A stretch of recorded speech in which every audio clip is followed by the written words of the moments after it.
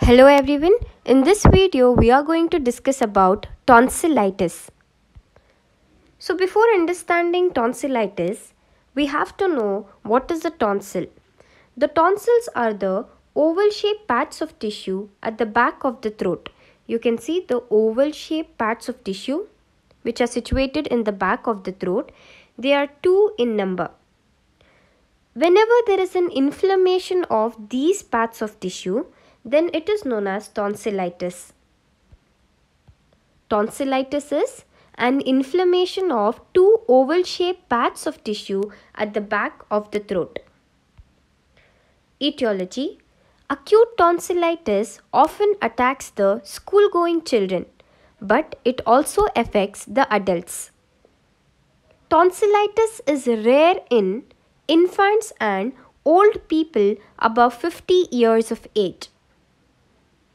So you see, it is common in children and young adults, rare in infants and old age.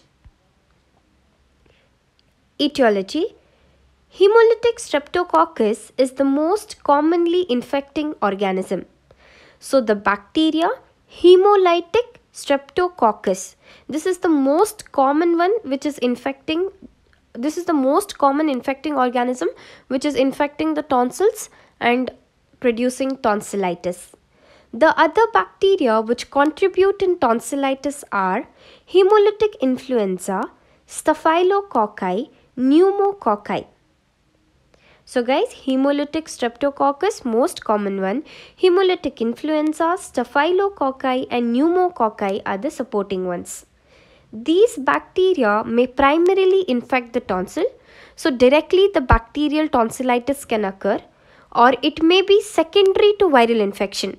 So first the virus acts and then secondary to the viral infection these bacteria can produce tonsillitis. Either they can be primarily infecting the tonsil or come in secondary to viral infection. Symptoms of tonsillitis sore throat. They also suffer from difficulty in swallowing, fever 38 to 40 degrees Celsius, the fever may be associated with the chills and rigor. Ear ache, either referred pain from tonsil or the result of acute otitis media which may occur as a complication. So guys what's happening here the person having tonsillitis will suffer from ear ache. Why is the person having ear ache? Either it is a referred pain from the tonsil the pain can go to the ear. That is the first uh, possibility. The second thing they are saying as a result of aom acute otitis media. What happens in this is the bacteria from the tonsil will spread to the middle ear. When it will spread to the middle ear it will cause the otitis media then resulting in ear pain Basically, it started from the tonsil. That bacteria will invade the middle, ear producing acute otitis media. This is also a complication of tonsillitis. The constitutional symptoms will be headache, malaise, a feeling of uh, general discomfort, constipation and abdominal pain. These are the constitutional symptoms. Headache, body ache, malaise, constipation and abdominal pain. The signs breath is fetid and tongue is coated. So, when you see the person having tonsillitis, acute tonsillitis, the breath is fetid, foul smelling breath, and the tongue is going to be coated. Hyperemia of pillars, uvula, and soft palate. So, you can see here they have given the tonsil swollen and red, mild redness and swelling of uvula. You can see uh, clearly identify the signs of tonsillitis in this. Hyperemia guys what's hyperemia? When there is an excess of blood supply in the vessels which are supplying the tonsil. Whenever the blood supply is increasing the hyperemia of the pillars uvula you can look at the uvula here and even the soft palate is affected. Tonsils are red and swollen with yellowish spots of purulent material. It is present at the opening of crypts. So you can see that the tonsil has crypts. So this tonsil has crypts. basically what's happening the tonsil is going to become red and swollen. Apart from that there are going to be yellow spots on the tonsil. Where are the uh, spots present? In the opening of these crypts. This tonsil is having crypts. The yellow spots are present with the opening at the crypts.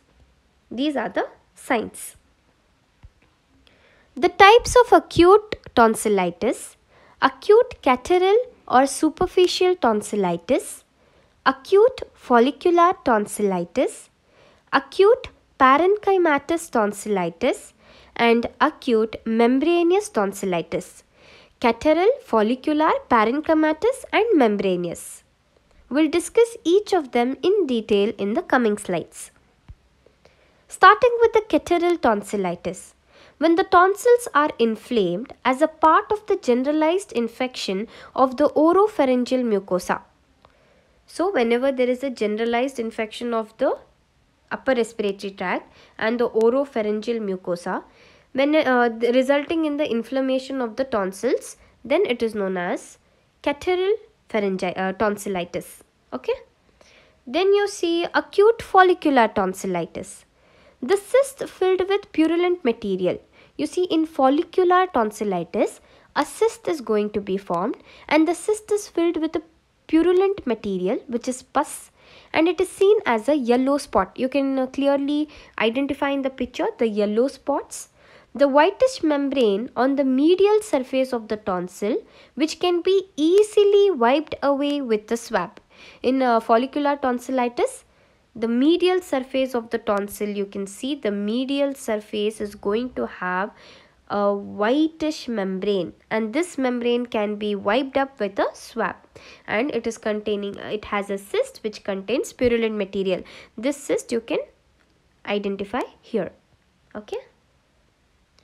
Moving on to the next type acute parenchymatous tonsillitis in parenchymatous tonsillitis, the tonsil surface is going to be affected. That's understood.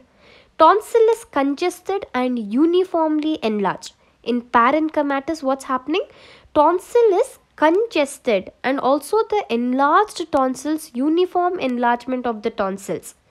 Then the thing here is the lymph nodes involvement will be there. They become enlarged and tender. The lymph nodes, which are the lymph nodes? The jugulodigastric lymph nodes. You can see here the jugulodigastric lymph nodes are enlarged and tender. There is congestion and the tonsils are uniformly enlarged. Along with this, the jugulodigastric lymph nodes are going to be enlarged and tender. In parenchymatous type, you can see the jugulodigastric lymph nodes here. Near the tonsils, they are going to be present. These lymph nodes will be enlarged. Acute membranous tonsillitis. In membranous tonsillitis, the tonsils will be enlarged and congested so much that they almost meet in the midline along with some edema of the uvula. So guys, you cannot uh, make out two different things here. They are swollen to such an extent that this is a tonsil, this is a tonsil. They'll be swollen to such an extent that they meet in the midline. And along with that the uvula is also going to be swollen. There is edema of uvula and also the soft palate. You can see the edema and they are meeting and there is no differentiation in between the two. Okay? The complications of acute tonsillitis. Chronic recurrent tonsillitis so the acute can turn into a chronic tonsillitis by the recurrent attacks then they have said about quinsy here. Quinsy is nothing but the peritonsillar abscess. Uh, whenever the infection will spread beyond the tonsil into the peritonsillar space you can look in the picture here from the tonsil it is spreading into the peritonsillar space resulting in quinsy or uh, peritonsillar abscess then you see the other complication is the parapharyngeal abscess. Parapharyngeal abscess is nothing but the deep neck space abscess. The deep neck space whenever the abscess is formed in the parapharyngeal space it is known as parapharyngeal abscess. Cervical abscess, AOM they are saying about acute otitis media here. In acute otitis media, I told you from the tonsil, the bacteria will spread to the middle ear resulting in the acute otitis media. Even in the rheumatic fever and acute glomerulonephritis could be the complication. SABE it can also uh, the one of the complication is subacute bacterial endocarditis. SAB is subacute bacterial endocarditis. These are the complications of acute tonsillitis.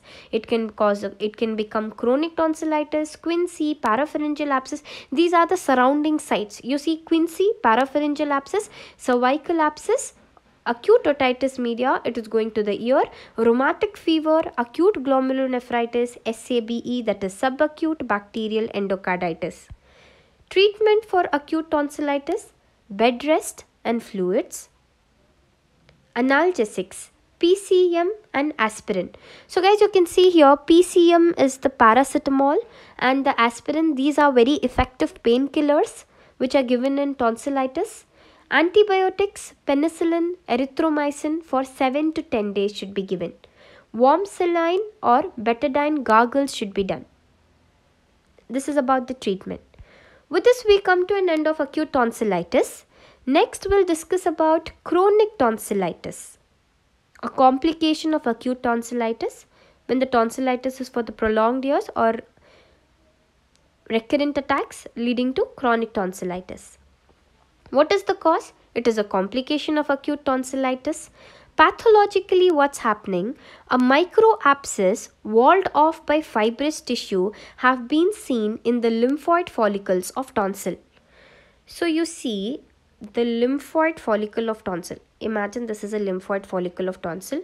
What's happening? A micro abscess. Guys, what's a micro abscess? Whenever there is a localized collection of pus and this thing it is walled off by the fibrous tissue and this is found inside the lymphoid follicle a localized collection of pus which is walled off by the fibrous tissue and it is found in the follicles lymphoid follicles of tonsils this is how the chronic thing is formed. The pus is being walled off. It is concealed there itself. Subclinical infections of tonsils without an acute attack. They are saying that uh, the chronic tonsillitis occurs also because of the subclinical infection. Subclinical in the sense there are no signs and symptoms. The patient is asymptomatic so he is not taking any treatment that can result in uh, chronic uh, tonsillitis Mostly the chronic tonsillitis is found in children and young adults. It is rarely above the 50 years of age. Then you see the chronic infection in sinus or the teeth may be a predisposing factor. Why is sinus and teeth involvement the infection of sinus and teeth is being a predisposing factor here. This is what we have to know. See guys what's happened in uh, like tonsillitis generally what happens they become enlarged. Whenever they are enlarged they obstruct the sinus drainage. When the sinus drainage is uh, obstructed, it will lead to the poor drainage of the sinus, which will create a perfect environment for the bacteria to breed, resulting in the chronic tonsillitis. The chronic infections in the sinus or the teeth, which will create a good environment for the bacteria to breed, spreading the infection and resulting in tonsillitis.